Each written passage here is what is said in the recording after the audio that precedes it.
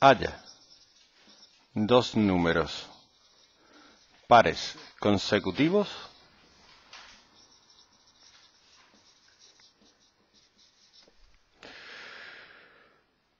Cuyo producto sea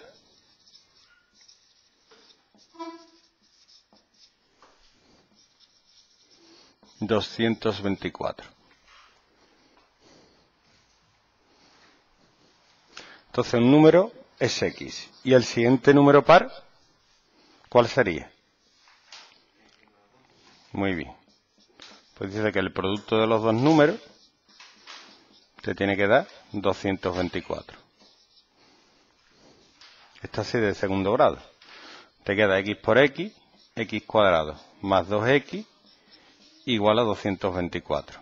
Te queda x cuadrado más 2x, menos 224, igual a 0.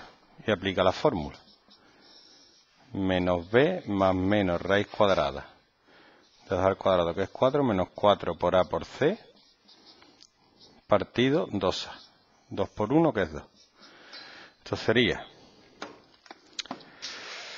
4 más, ojo cuidado con el signo, menos por menos más, 4 por 224, que es 900. Menos 2 más menos la raíz de 930 partido 2. Menos 2 más 30 es 28 entre 2, 14. Y menos 2 menos 30 es menos 32 entre 2 menos 16.